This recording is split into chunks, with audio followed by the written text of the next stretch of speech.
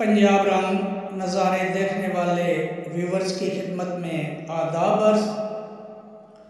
उम्मीद करता हूँ कि अल्लाह तबारक व ताली की फजल करम से आप सब बखैरियत होंगे।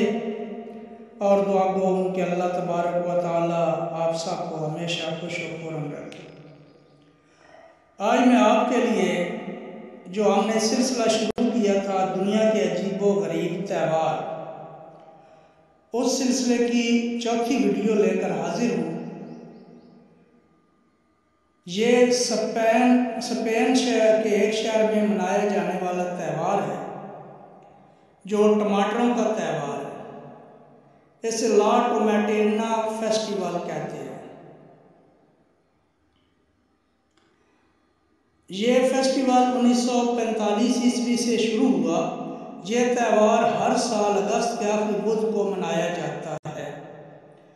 यह ज़्यादातर स्पेन के एक शहर में मनाया जाता है। इस त्यौहार पर लोग लाल पानी में नहा जाते हैं।